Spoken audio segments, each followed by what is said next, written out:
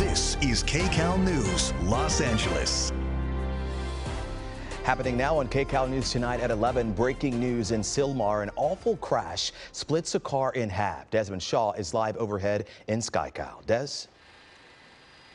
Well, Chauncey, there sure has been a lot of mayhem on this Friday night, and here we are on the 15,000 block of Bledsoe Street in Sylmar, where a vehicle slammed into a tree and was sliced in half. I believe it's a Toyota Camry right here. There's one half of the vehicle, and there is the other half here up on the sidewalk. We'll put the magnifying glass up for you right there. There's the other half of that vehicle. You see LA City Fire here uh, huddled up. Two people had to be extricated from the vehicle. They've been transported to the hospital in unknown condition. So uh, Bledsoe Street's going to be shut down here for a long time to investigate uh, this violent collision. Speed may have been a factor. Hit a tree, sliced in half. Two people in the hospital now.